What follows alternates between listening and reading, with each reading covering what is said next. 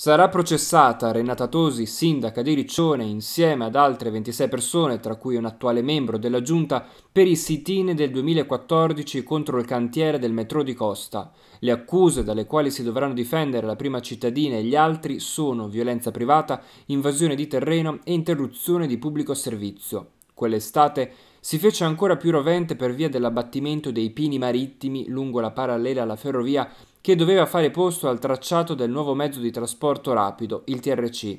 La protesta, cavallo di battaglia della prima campagna elettorale di Tosi, non ebbe però esito positivo per i manifestanti. Il progetto era infatti ad uno stadio troppo avanzato e non era più possibile arrestarlo, ma inarrestabile fu anche il tentativo di bloccare tutto da parte di decine di residenti che in tre occasioni, tra giugno e luglio del 2014, si diedero all'assalto del cantiere. Secondo la ricostruzione, alcuni di questi avrebbero persino gettato uova e duri insulti agli operai. La sindaca aveva partecipato a due dei tre appuntamenti e in quelle occasioni le forze dell'ordine ne identificarono i partecipanti. Per loro ora si aprono le porte del Tribunale di Rimini. La data della prima udienza è fissata per il prossimo 15 maggio.